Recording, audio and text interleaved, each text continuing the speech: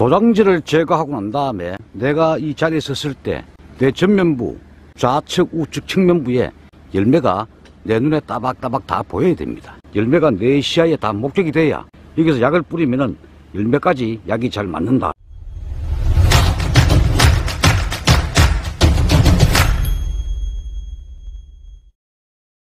여러분 안녕하십니까 사과 콜라 TV입니다. 6월 중순에 접어들고 있습니다. 오늘은 도장기 제거 작업을 하고 있는 가수원에 들러봤습니다.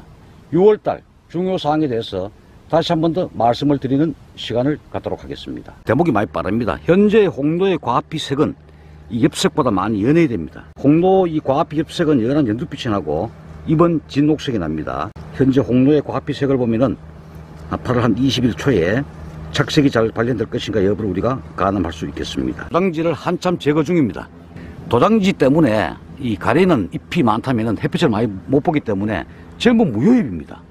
그것 때문에 오히려 해거리 현상이 더 심하고 꽃눈 화학 분화가 잘 되지 않는다. 그럴 바에는 차라리 이렇게 훤하게 따서 남긴 잎들이 햇빛을 많이 보게끔 하는 게 좋습니다. 제거 후의 모습 보면은 아, 이렇게 열매가 또박또박 내 눈에 목격이 됩니다. 저 상단부, 그 다음에 저희 이 정면 좌측 부분에도 열매가 제 눈에 개수가 다 시할 정도로 눈에 다 들어옵니다. 바로 이 우측 부분도 보시면은 열매가 눈에 딱딱딱 목적이 됩니다. 이렇게 목적이 돼야 농약을 우리가 뿌려도 열매까지 다 맞습니다. 내가 손을 헤집고 이렇게 봐야 열매가 있다면은 수관이 복잡하다. 또한 밑에서 봐서도 열매가 이렇게 다 눈에 들어옵니다. 그래서 방제가 잘 되고 이 남긴 잎들은 햇빛을 많이 보기 때문에 약 방제는 잘 되면 물론 갈반병에도 상당히 더 효과적이다. 수관이 훤해졌기 때문에 갈반에도 더 강하다. 이래 보시면 되겠습니다. 아, 상당히 착과력이 좋고 어, 지금쯤 달려있는 이 열매가 이 과빛색이 지난번에도 말씀을 드렸습니다만 이렇게 뽀얀 형태가 나타나야 가을에 착색이 맑고 깨끗하게 잘 난다. 이래 보시면 되겠습니다. 이게 너무 녹색을 띠면은 가을에 착색이 불량합니다. 현재 6월 상순에 과빛색이 어떤가를 보면은 가을을 우리가 가늠할 수가 있다. 색깔이 잘 날 것이냐 못 날 것이냐 방지가 잘 된다. 뻔하게 도장지를 지금 딸 때가 됐습니다. 제가 함으로 해서 오히려 남기는 이 잎들이 햇빛을 더 많이 보게 되고 광합성 활동을 활발히 진행할 수가 있다. 그러니까 겁을 내서 못 따내거나 또 따내고 난 다음에도 열매가 내 눈에 보이지 않는다면은 그거는 도장지를 적게 따냈거나 좀 문제가 있다 이 보여집니다. 그래서 많은 잎들이 햇빛에 노출되고 난 다음에 해줘야 우리가 좋은 꽃눈을 많이 만들어 줍니다. 네, 꽃눈을 만들어 주는 건 역시 하늘의 태양이고 그 다음에 그 태양을 받는 이파리가 되겠습니다. 이렇게 제거하신 분들은 나중에 인상가리, 불이요, 깔잡이 이러한 인상가리 연면 시비용을 단용 또는 농약과 혼용해가지고 여러분들이 연면 시비 한번 하시면은 순머지에도 상당히 도움되고 질소 흡수에도 상당히 억제 효과가 있기 때문에 후반부에 착색에도 많은 기여를 할 수 있다라고 제가 말씀을 드리겠습니다. 한참 따고 있는 모이네요. 아, 지금 도장지 제거는 상당히 잘 하셨네요. 이래 따내니까 이제 미비한 적과 부분도 눈에 보이고, 그죠? 예. 또 유인할 부분이 있으면 유인도 하시고, 추달 건 추달고, 착과량이 상당히 많습니다. 자리 자리마다 빈자리가 전혀 없네요. 이 열매 착과량이 혹시나 너무 많아도 또 해거리 현상이 올 수 있기 때문에 이 중에서 제일 나쁜 열매를 위주로 섞어내는 게 좋지 않겠나 싶습니다. 뭐 진딧물에 응애는 없습니까? 없어요. 원래 제일 주요 중에 응애입니다, 응애. 예. 지금 상당히 상단부터 환하게 잘 땄고, 그렇게 하셨는데, 어, 착과량이 조금 많아 비긴 많아 보입니다, 지금 봐서는. 이 중에서 제일 나쁜 열매를 뭐한 5%내 범위만 더 섞어내시면 꽃농분화에 훨씬 더 좋을 겁니다. 이 과다 착화가 제일 문제거든. 그 다음에 이파리 햇빛을 못 보게 되면은 자기 역할을 못 하기 때문에 또 해거리 현상이 올 수가 있습니다. 예. 곳곳마다 다 달려졌는데 아주 가지도 이렇게 늘어져 가지고 열매가 상당히 착화가 잘 됐습니다. 잎색도 지금 보면은 홍도 같은 게 좀 예외인데 이 후지 같은 경우는 잎색이 너무 진녹색이 나면 안 됩니다. 이 멀리서 봤을 때 녹색이면서 살짝 연한 녹색을 나타내줘야 가을에 색깔이 잘 납니다. 잎색을 보고도 가을을 점칠 수가 있단 말이 그 말이거든요. 진한 듯 하면서 다소 연한 빛이 보여줘야 아, 이 가수는 올 가을에도 가을이 잘 나는구나. 이렇게 거의 100% 맞습니다. 그걸 보면. 잡아 뜯으면 좋은데 가지가 어, 경화돼가지고 거의 뜯었어요. 거의 뜯어냈습니다. 그냥. 아, 이렇게 이 수관이 환하게 우리가 말씀드린 대로 잘 수행하고 계시는 가수가 되겠습니다. 어, 해마다 이래 해도 착색이 잘 나고 해거리 현상도 일부 있지만은 거의 없는 가수원입니다. 아, 수관이 환합니다. 이렇게 보면. 예. 여기서 약을 방치하면 약이 잘 퍼져 들어갈 수 있습니다. 이런 부분을 잘 하시. 지금부터는 연면 시비도 중요하지만 병해충 방지가 가장 중요하다. 여기 수관이 환하죠, 이렇게.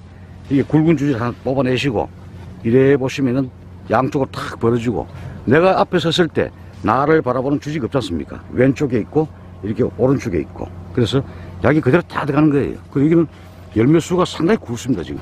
열매가 아주 우두리한 것이, 그 앞에도 뽀얀 것이 우두리합니다, 이제. 상당히 이 알도 굵으면서 색깔이 맑게 날 걸로 지금 예측이 됩니다. 그 다음 파스에 하실 때는 이제 인상가리 연면시비, 뭐 불이오나 이런 거 그죠? 예, 연면시비 전용.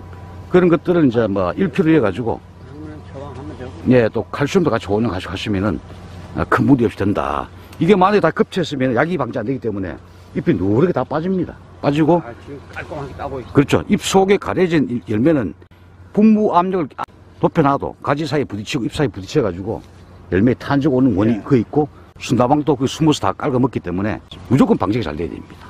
아, 평, 평균적으로 좋다 제가 봤을 내가 때. 예. 봐도 그 원래 좀 마음에 들게 아 괜찮죠. 시 농사 짓다 보면은 마음에 들기가 쉬운 게 아닌데 그럴까요. 오늘 착과량도 많고 알 비대도 양호하고 야. 지금 수관 상태도 상당히 확 제가 봐도 확합니다. 여러 군데를 많이 다니니까 비교가 돼요. 비교. 예, 상당히 좋습니다. 응계도 현재 없고 어, 지금부터 방제를 잘 하셔야 돼 지금부터. 예. 잘 하는 건 이제 내가 뭐 묵시인데 자, 여기 보십시오. 아주 잘 됐습니다. 제가 지나가다가 이 도장기 제가 하시길래 잠시 들려봤는데, 제가 제다 예, 자기 가지에 탁, 이거 탁이 이게 달렸습니다. 이래도 이거하고 각각이 예, 예, 그렇죠. 서로 서로 다른 가지죠. 그래가지고 내가 농사 짓는 중에 참잘 된다 예. 그 6월 달에는 여러분들께서 또 델란 수화제를 꼭 방지를 하셔야 되는데, 델란 수화제는 아, 살균제 중에서 아주 까다로운 약제입니다. 이 약제이기 때문에 거기에는 델란에 가용하는 과거부터 마코피카 전착제가 있습니다. 그거는 상술이 아니고 저희들이 아, 델란에 과거에 처음 쳤을 때 이 과피 표면에 약흔이 많이 남기 때문에 제가 과거부터 그이 약은 좋지만은 알레르기 방이 있을 정도로 약은 까다로 좋은 약이지만 과피에 약흔이 많이 남기 때문에 제가 이 부분을 이 30에서 SG30에서 해결 반드시 해야 된다. 그걸 제가 수차례 건드려서 마코피카가 개발때 나온 거기 때문에 회사 상술이 아닙니다. 그래서 마코피카를 쳐야 이 약흔이 묻지 않고 잘 골고루 퍼진다. 확산제입니다. 확- 확산제. 그래서 델란에는 마코피카, 델란 액상을 권장드리지 않습니다. 델란 수화제가 델란의 고유 함량이 제일 높다. 그- 그게 다 이제 뭐 살충제는 멜라플러스, 라이몬, 프레바톤, 트레본, 바로확 액상, 옥타브 이런 약들이 있습니다. 뭐 캐치온 수화제도 있고 그런 약들을 가용하시고 응약 파워샷 골드 돌직구 웬만하면 다 됩니다. 그게 마코피카. 다만 SS 분무기를 사용하실 때는 막 인산칼슘이나 사정 복합 비료, 불이오도 혼용에 관계 없습니다만 일부 물숨을 담아 까만 고무통에 희석할 때는 사람 손으로 젓다 보니까 잘 에, 배합이 안 되는 경우가 있습니다. 그때는 이 노즐 사이로 약이 나가서 이게 약흔이 덩어려지는 경우가 있습니다. 그래서 그게 동록을 크게 유발할 경우가 있기 때문에 에, 가급적이면 제가 100명 중에 한 명이라도 그런 사고 나면 안 되기 때문에 사정 복합비를 가용하지 않도록 권장드리고 나는 해마다 사용해보니까 별 문제 없더라. 그런 분들은 아, 현재와 동일한 방법으로 사정 복합비를 가용하셔도 되겠습니다만 일부 아, 개인적으로 아, 대포 노즐로 살포하시는 과에서는 제가 권장드리지 않습니다. 만약 사고를 대비해서 델란 소화제는 6월 10일 전후부터 6월 25일 사이에 꼭 1회를 방지를 권장드리고 또한 7월 20일부터 25일 사이에 제 2차 델란 소화제를 한 번 더 방지를 권장드리겠습니다. 제가 보니까 아, 연 6월, 7월 각각 1회, 총 2회를 살포하신 가수원이 훨씬 더 탄저 부패가 없고 잎도 깨끗하더라. 그런 걸 제가 많이 봤기 때문에 제가 특별히 강조를 드리겠습니다. 6월 달은 꽃눈 분화기에 접어들었기 때문에 이 꽃눈을 누가 만들어 주느냐? 열매 근처에 있는 이 수많은 이파리 또 이 이파리들이 그들 속에 있다면 무효입이 되기 때문에 아무 의미가 없습니다. 열매 근처에 있는 이 많은 잎들이 햇볕을 잘 보고 있는 이파리가 유효엽, 즉 광합성 에너지를 만드는 광합성 동화 산물을 생성하는 그런 좋은 잎이기 때문에 제가 도장지를 과감히 좀 쳐달라. 다만 너무 지나치게 제거하지 말아달라 말씀드리고 도장지를 제거 이후에 인산칼슘이나 연면시비용 인산가리를 단용 또는 약재와 혼용해서 연면 살포하시면 훨씬 더 도움이 되는 말씀을 또한 드리겠습니다. 여러분들의 적극적인 응원을 부탁을 드리겠습니다. 사과콜라 TV였습니다.